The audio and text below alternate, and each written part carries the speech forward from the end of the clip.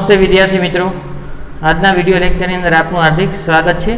પ્રકરણ નંબર એક, રસાયણ વિજ્ઞાનની પાયાની સંકલ્પના. આગળના વીડિયો લેક્ચરની અંદર આપણે રસાયણ વિજ્ઞાનના ઘણા અગત્યતાનો અભ્યાસ કરેલો હતો. આજે આપણે દ્રવ્ય અને તેની અવસ્થાનો અભ્યાસ કરવાનો છે. સૌ પ્રથમ દ્રવ્યનો સ્વભાવ સ્વભાવ એટલે પ્રકૃતિ નેચર ઓફ મેટર અને તેની અવસ્થાઓનો અભ્યાસ કરવાનો છે. તો દ્રવ્ય એટલે શું? કોઈ પણ વસ્તુ કોઈ પણ વસ્તુ જે જગ્યા રોકે છે અને દળ ધરાવે છે, તેને દ્રવ્ય તરીકે ઓળખાય. કોઈ પણ વસ્તુ જે જગ્યા રોકે છે અને દળ ધરાવે છે, તો તેને શું કહેવાય? દ્રવ્ય. દાખલા તરીકે આ બોક્સ છે, લાકડાનો ટુકડો. એ દ્રવ્ય છે, આ ચોક છે, એ દ્રવ્ય છે, આ બોટલ. તો બોટલ પણ જગ્યા રોકે છે. આ બીકર છે. બીકર. આ ટેસ્ટ ટ્યુબ છે. આ બધું જ છે, જગ્યા રોકે છે, દળ ધરાવે છે, તો એ બધાને દ્રવ્ય તરીકે ઓળખી શકાય. પેન છે, પેન્સિલ છે, ચોપડી છે, ટેબલ છે, હવા. હવા પણ જગ્યા રોકે તો એ પણ દ્રવ્ય છે. દ્રવ્યની ત્રણ અવસ્થા, ઘન, પ્રવાહી અને વાયુ. દ્રવ્યની ત્રણ અવસ્થા છે, ઘન, પ્રવાહી અને વાયુ. એમાં કણોની ગોઠવણી, જો ઘન પદાર્થ હોય ને, તો કણો એકદમ નજીક ગોઠવાયેલા હોય. કણો એકબીજાથી ઘણા નજીક હોય. અને ક્રમબદ્ધ વ્યવસ્થિત હોય. દાખલા તરીકે એક પરમાણુ આયન છે, અહીંયા છે. તો એની પાછળ જ એક બીજો પરમાણુ છે અને આગળ પણ બીજો પરમાણુ છે? તો ક્રમબદ્ધ વ્યવસ્થિત ગોઠવણી થયેલી હોય, એની હેરફેર માટે મુક્ત મળતા નથી. ફરીથી, આ ઘન પદાર્થ છે. જોજી આમાં કાર્બન લાકડાનો ટુકડો છે. લાકડાનો ટુકડો છે. તો એમાં કાર્બન હોય, તો એની વ્યવસ્થિત ગોઠવણી થયેલી છે. એ પોતાની જગ્યાએથી હલનચલન કરતા નથી, ક્રમબદ્ધ ગોઠવણી થયેલી છે. આગળ. પ્રવાહી હોય તો પ્રવાહીમાં શું હોય? કણો એકબીજાની નજીક એકબીજાની નજીક છે પણ હરીફરી શકે છે. કણો એકબીજાની નજીક છે પણ હરીફરી શકે છે. આ પરમાણુ છે અહીંયા જઈ શકે, આ પરમાણુ અહીંયા જઈ શકે, બધા જ હરીફરી શકે, ગતિ કરી શકે. જ્યારે ઘન પદાર્થમાં ઘટક કણો હરીફરી શકતા નથી. હરીફરવા માટે મુક્તિ મળતી નથી. આગળ, જો વાયુ હોય, તો વાયુ એના ઘટક કણોની ગોઠવણી કેવી રીતે હોય? ઘન અને પ્રવાહીની સરખામણીમાં ઘણા દૂર હોય. અને ઘટક કણો નજીક ક્રમબદ્ધ ગોઠવણી થયેલી છે. અહીંયા એના કરતાં છૂટા છે અને અહીંયા ઘન અને પ્રવાહીની સરખામણીમાં ઘણા દૂર છે. ઘણા બધા દૂર છે. તેથી તેમની હેરફેર સરળ અને ઝડપી છે. તમે ઘરે જ્યારે અગરબત્તી કરવામાં આવે, તો એની સુવાસ છે બીજા ઓરડાના બીજા ખૂણામાં સુધી સુવાસ ફેલાય છે. તો એનો અર્થ એવો કે સુવાસની અંદર પણ રસાયણ છે, એના પરમાણુ છે, અણુઓ છે, એ ફેલાય અને બીજા ખૂણા સુધી જતા હોય. તો તેમની હેરફેર સરળ અને ઝડપી છે. સરળ અને ઝડપી. આ પરમાણુ સરળતાથી, ઝડપથી અહીંયા ઉપર આવી શકે ને એ પરમાણુ સરળતાથી નીચે પણ આવી શકે. આ ઘટક કણોની ગોઠવણી હતી. ફરીથી ગોઠવણી. ઘનમાં ક્રમબદ્ધ હોય, હેરફેર કરી શકતા નથી. પ્રવાહીમાં ઘનની સરખામણીમાં થોડાક દૂર હોય, પણ હેરફેર કરી શકે. વાયુની અંદર ઘન અને પ્રવાહીની સરખામણીમાં દૂર હોય અને સહેલાઈથી હેરફેર સરળ અને ઝડપથી હરીફરી શકે. આગળ લાક્ષણિકતા. લાક્ષણિકતા, જો ઘન પદાર્થ હોય ને, ઘન પદાર્થ, એને ચોક્કસ કદ હોય. ચોક્કસ કદ હોય અને ચોક્કસ આકાર હોય. ઘન પદાર્થ, આ ઘન પદાર્થ છે. એનો આકાર એ ચોક્કસ છે. કેવો આકાર છે? ચોરસ. અને એનું કદ પણ ચોક્કસ હોય. કદ મેળવવું હોય તો આનું આ લંબાઈ આ લંબાઈ, આ પહોળાઈ અને ઊંચાઈ. લંબાઈ ગુણ્યા પહોળાઈ ગુણ્યા ઊંચાઈ કરો એટલે એનું કદ મળી જાય. ક્ષેત્રફળ મળી જાય. તો કદ ઘન પદાર્થને હોય, બીજું ઘન પદાર્થને ચોક્કસ આકાર હોય. ધારો કે આ ટેસ્ટ ટ્યુબ છે એ ઘન પદાર્થ જ છે. ટેસ્ટ ટ્યુબ છે એ ઘન પદાર્થ જ છે. એનો ચોક્કસ આકાર છે, કેવો આકાર છે? નળાકાર આકાર છે. અને કદ પણ ચોક્કસ હોય. આનું કદ છે એ દસ એમએલ છે. આ બીકર છે. આ બીકર એનો આકાર નળાકાર છે. અને એનું કદ તમે જોઈ શકો છો કદ બસો પચાસ એમએલ છે. તો ઘન પદાર્થને આકાર અને કદ ચોક્કસ હોય. જ્યારે પ્રવાહી પદાર્થની લાક્ષણિકતા ચોક્કસ કદ હોય, યાદ રાખજો, ચોક્કસ કદ હોય, પણ ચોક્કસ આકાર હોતો નથી. દાખલા તરીકે દસ એમએલ કોઈ પણ પ્રવાહી હોય, એને હું વીસ એમએલના પાત્રમાં ઉમેરું તો તો કદ કેટલું થાય? દસ એમએલ જ થાય. આકાર ચોક્કસ હોતો નથી. તો પ્રવાહીનો આકાર કેવો હોય? જે પાત્રમાં ભરવામાં આવે તેવો આકાર ધારણ કરે. ઉદાહરણ દ્વારા સમજી. આ ટેસ્ટ છે. બરોબર? અને આ બીકર છે. બીકરમાં પ્રવાહી ભરેલું છે. એનો આકાર કેના જેવો છે? બીકર જેવો. આમાં હું ભરું તો એનો આકાર કેવો થશે જોજો. કેવો થશે આકાર? ટેસ્ટ જેવો. તો આ પ્રવાહી બીકરમાં ભરેલું છે, તો બીકર જેવો આકાર છે. એને મેં ટેસ્ટ ટ્યુબમાં ભર્યું, તો ટેસ્ટ ટ્યુબ જેવો આકાર થયો. હવે આ ટેસ્ટ ટ્યુબને પાછી બીકરમાં ઉમેરી દઉં તો? આ ટેસ્ટ ટ્યુબને બીકરમાં ઉમેરી દઉં તો પછી એનો આકાર આમાં ઉમેરી દઉં. તો એનો આકાર કેના જેવો થઈ ગયો? જે પાત્રમાં ભરવામાં આવે પ્રવાહીને, તો આ પ્રવાહીનો આકાર કેના જેવો થયો? બીકર જેવો. કારણ કે બીકરમાં ભર્યું છે. એને હું પાછું ફરીથી આમાં ભરું. તો કોના જેવો આકાર થશે? ટેસ્ટ ટ્યુબ જેવો આકાર થાય. તો પ્રવાહી પદાર્થને જે પાત્રમાં ભરવામાં આવે, દાખલા તરીકે આ છે. અને કહેવાય કોનિકલ ફ્લાસ. જો કોનિકલ ફ્લાસમાં ભરવામાં આવે, તે તેનો આકાર કોનિકલ ફ્લાસ જેવો ધારણ કરે.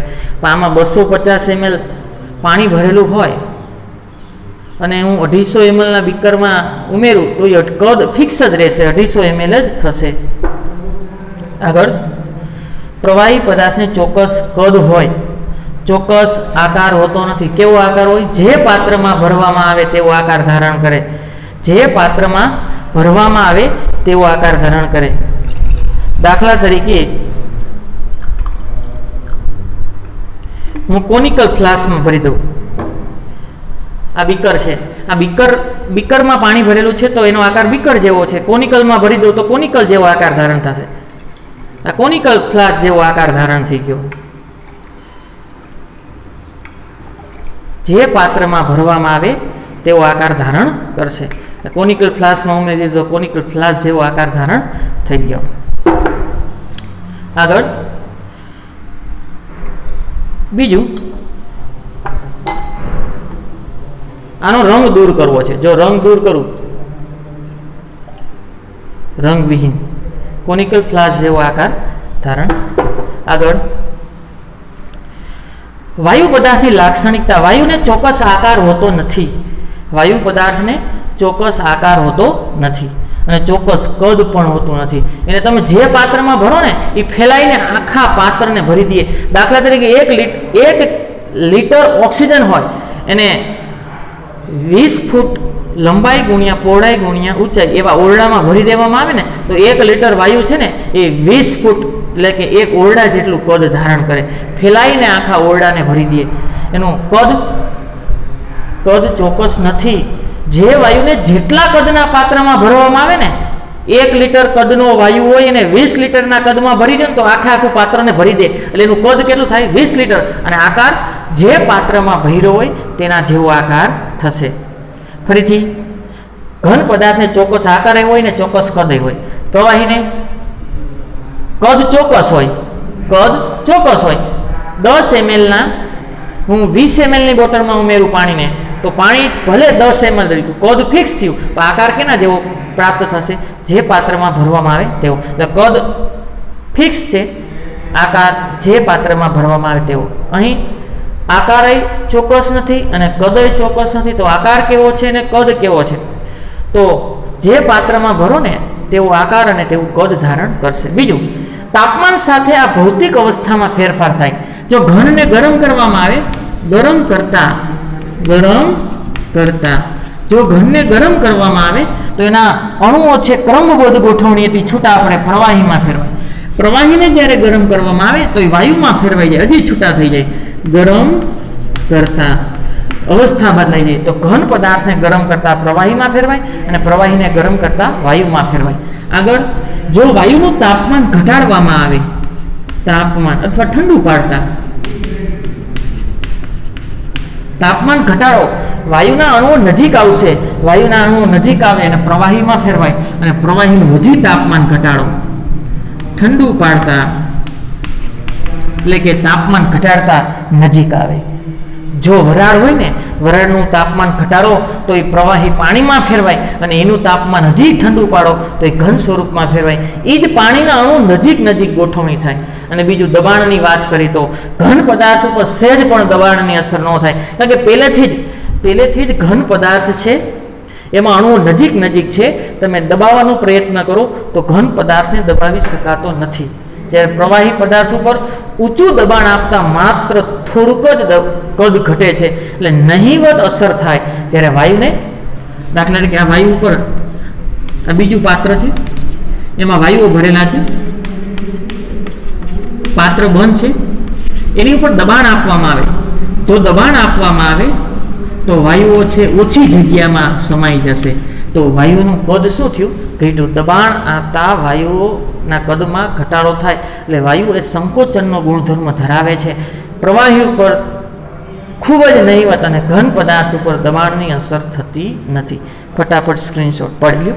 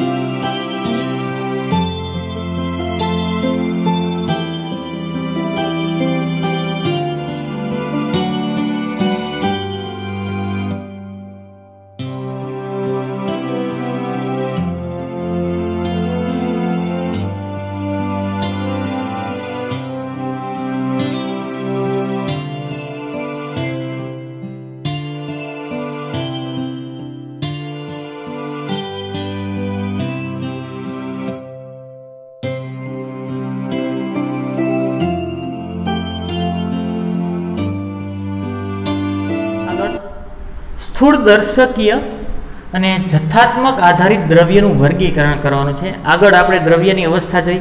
ઘન, પ્રવાહીને વાયુ ઘનને ગરમ કરવામાં આવે તો અણુઓ છૂટા પડે, પ્રવાહીમાં ફેરવાય. પ્રવાહીને ગરમ કરવામાં આવે તો વધારે અણુઓ છૂટા પડી અને વાયુમાં ફેરવાય. એનાથી ઉલટું, જો તાપમાન ઘટાડવામાં આવે તો પણ અવસ્થા બદલાય. વાયુનું તાપમાન ઘટાડો તો પ્રવાહી અવસ્થા આવે અને પ્રવાહીનું તાપમાન ઘટાડો તો ઘન અવસ્થામાં રૂપાંતર થાય. આગળ દ્રવ્યનું વર્ગીકરણ. સ્થૂળદર્શીય માઇક્રોસ્કોપિક અથવા જથ્થા બલ્ક એટલે જથ્થો. માઇક્રો અને મેક્રો માઇક્રો એટલે થાય સૂક્ષ્મ અને મેક્રો એટલે વધારે. મોટું. તો આ માઇક્રો એટલે સૂક્ષ્મ આધારિત અને જથ્થા આધારિત. દ્રવ્યનું વર્ગીકરણ કરવામાં આવે. દ્રવ્ય એટલે જે પદાર્થ દળ ધરાવે છે અને જગ્યા રોકે છે. આ ચોક છે એને દળ છે એને જગ્યાએ રોકે છે. એને આધારે બે રીતે વર્ગીકરણ કરી શકાય. એક મિશ્રણ અને એક શુદ્ધ પદાર્થ. મિશ્રણ અને શુદ્ધ પદાર્થ. મિશ્રણ દાખલા તરીકે ખાંડનું દ્રાવણ. ખાંડને હું પાણીમાં નાખી દઉં તો એ મિશ્રણ થઈ ગયું. ખાંડ અને પાણીનું મિશ્રણ. હવા. હવાની અંદર શું હોય? ઇઠોતેર ટકા જેટલો નાઇટ્રોજન હોય. બીજું સાથે શું મિશ્રણમાં હોય? ઓક્સિજન હોય, hydrogen, helium, neon, argon, carbon dioxide, નાઇટ્રોજનના oxide, સલ્ફરના ઓક્સાઇડ, બધા જ વાયુઓનું મિશ્રણ છે. અને ચા, ચાની અંદર શું હોય? દૂધ હોય, પાણી હોય, ભૂકી હોય, એ સિવાય બીજા કાંઈ મસાલા ઉમેરતા હોય તો એ બધાનું મિશ્રણ છે. આગળ, એ મિશ્રણને બે રીતે એક હવે મિશ્રણમાં બે કે તેથી વધુ પદાર્થ હોય છે. મિશ્રણની અંદર બે કે. હવે ખાંડનું દ્રાવણમાં બે પદાર્થ છે. ક્યાં? પાણી અને ખાંડ. હવે આગળ. તે ગમે તે પ્રમાણમાં હોય, ગમે તે. હવે ખાંડનું દ્રાવણ લેવું હોય તો તમારે વધારે ગળ્યું કરવું હોય તો શું કરવું પડે? ખાંડ વધારે લેવી પડે અને ઓછું ગળ્યું કરવું હોય તો તો ખાંડ ઓછી લેવી પડે.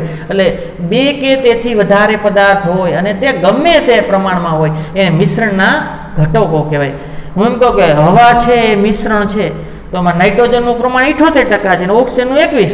તો એ ગમે તે પ્રમાણમાં હોઈ શકે એ પણ એ તો ફિક્સ છે. ચાની અંદર તમે ગમે તે પ્રમાણમાં પાણી, દૂધ, ભૂકી, ખાંડ ઉમેરી શકો. તો ગમે તે પ્રમાણમાં હોય, તેને ઘટકના સોરી મિશ્રણના ઘટકો કહેવાય. કેમ કે ચાના ઘટકો કોણ?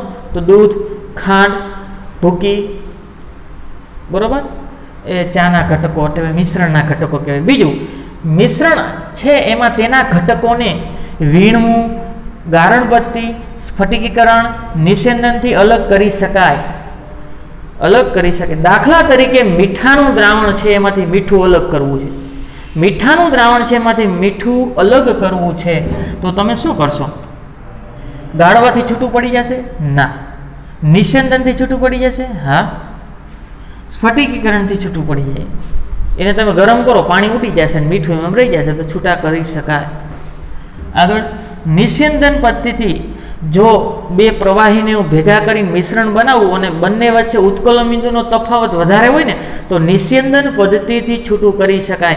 જેનું ઉત્કલન બિંદુ ઓછું હોય ને એ ડાયરેક્ટ વાયુમાં વહી જશે અને બાકીનું પ્રવાહી સ્વરૂપમાં પડ્યું રહેશે. તો એને અલગ કરી શકાય. વીણવું ગારણ પદ્ધતિથી પણ અલગ કરી શકાય. આગળ, મિશ્રણના બે ઘટ પ્રમાણમાં વર્ગીકરણ કરી શકાય સમાંગ મિશ્રણને વિસમાંગ ઘટકો એકબીજા સાથે સંપૂર્ણ મિશ્ર થઈ જાય. છૂટા પાડી શકાતા નથી ઘટકો. એકબીજામાં સંપૂર્ણ મળે, મિશ્ર થઈ જાય. છૂટા પાડી શકાતા નથી. અને આમાં વિષાંગમાં ઘટકો એકબીજા સાથે સંપૂર્ણ મિશ્ર થતા નથી. જો સંપૂર્ણ મિશ્ર થઈ જાય તો સમાંગ મિશ્ર ન થતા હોય તો વિસમાંગ આમાં શું થાય? તેનું સઘટન બધે જ એક સમાન હોય. અહીંયા સઘટન બધે એક સમાન હોતું નથી. એક ઉદાહરણ આપું. ખાંડનું દ્રાવણ છે. એ સમાનનું ઉદાહરણ છે.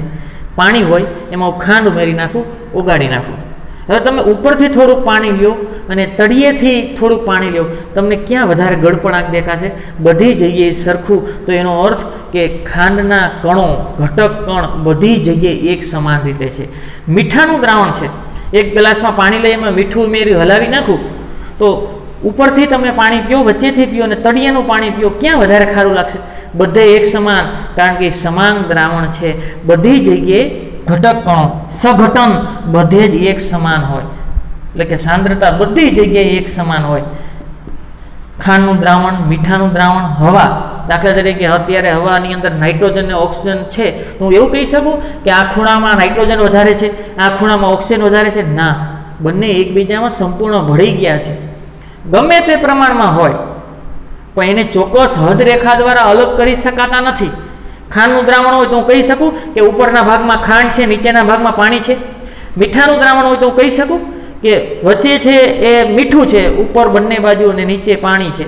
એવું કહી, તો આ સમાન દ્રાવણ છે, એના ઘટકો સંપૂર્ણપણે મિશ્ર થઈ જાય. સઘટન એટલે કે સાંદ્રતા બધી જગ્યાએ એક સમાન હોય અને યોગ્ય હદ રેખા દ્વારા અલગ કરી શકાતા નથી. અને અહીંયા શું થાય?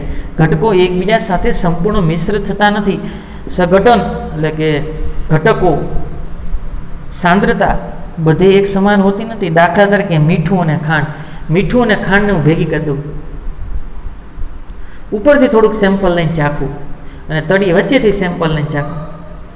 તો અમુક જગ્યાએ એવું હશે કે ખાંડ જ્યાં વધારે છે અહીંયા ગળ્યો સ્વાદ આવશે ને મીઠું જ્યાં વધારે છે અહીંયા ખારું લાગશે.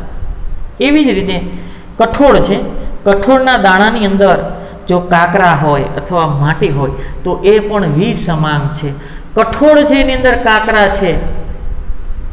મિશ્રણ તો છે ગમે તે પ્રમાણમાં છે, કઠોળ વધારે છે, કાંકરા ઓછા છે. ઘણી વખત કાંકરા વધારે હોય, કઠોળ ઓછા હોય. પણ એને યોગ્ય હદ રેખા દ્વારા અલગ કરી શકાય. છૂટા પાડવું હોય તો પાડી શકાય. હા, છૂટા પાડી શકાય. કઈ પદ્ધતિથી છૂટા પાડી શકાય? વીણવું મિશ્રણમાં ઘટક કરોને છૂટા પાડી શકાય. કઈ પદ્ધતિ? વીણવું કઠોળની અંદર જો કાંકરા હોય ને, તો એને વીણી વીણીને અલગ કરી શકાય. ખાંડ અને મીઠું એને પાણીમાં ઓગાળી અને નિષેંદન પદ્ધતિ એને પણ છૂટા પાડી શકાય. નિષેંદન અથવા સ્ફટિકીકરણ. પેલા જે દ્રાવકમાં દ્રાવ્ય થતો હોય, એમાં ઓગાળી અને તાપમાન ઘટાડવામાં આવે.